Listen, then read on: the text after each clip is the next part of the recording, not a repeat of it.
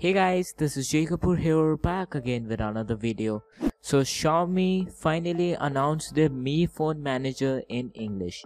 Yes, and this is a great news for Mi users because earlier we used to use Mi Phone Manager in Chinese or use some crack patch to translate it to English and now Xiaomi has released their Mi Phone Manager in complete English and now it is renamed to Mi PC Suite.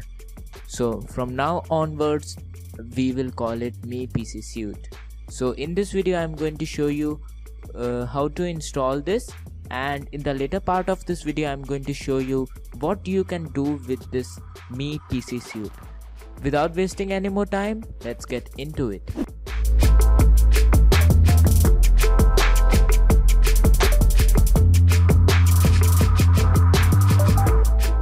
So first of all, we have to download this setup file from the link down below in the description.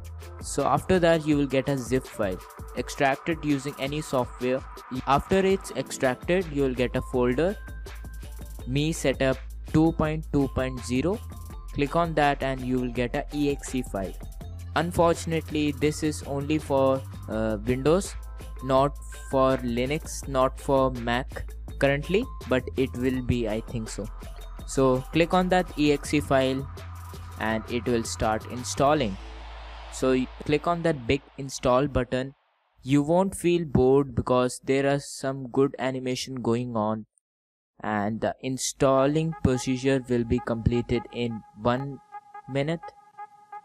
And you'll get a pop-up saying allow admin permission. Click on yes.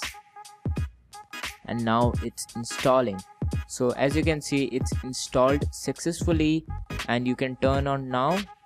Uh, here you will get a icon on the desktop and you will get icon on the task bar also. So what you can do with this Mi PC suite? So you can manage your Xiaomi device with this Mi PC suite. So you have to connect any Xiaomi device whether it's Mi 4, Mi 3, Redmi Note, Redmi 1S redmi 2 so here i am back with redmi 2 so i will just connect it.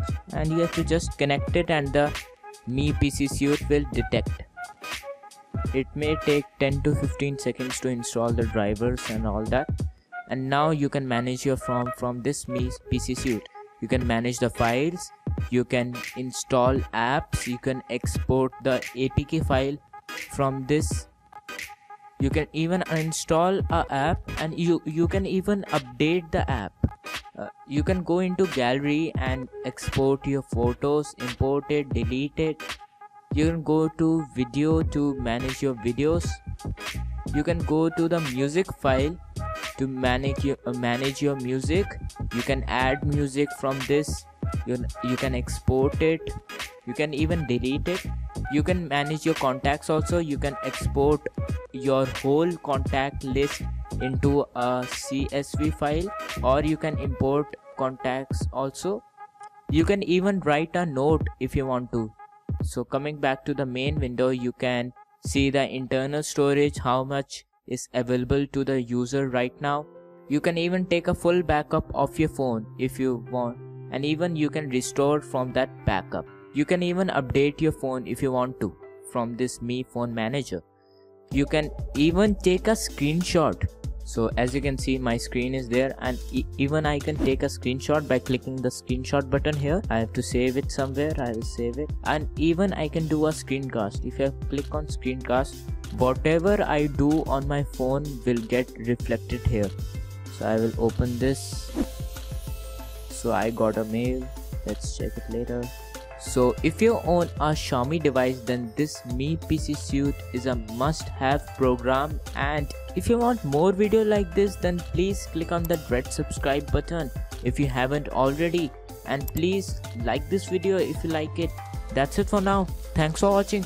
This is Jay Kapoor signing off.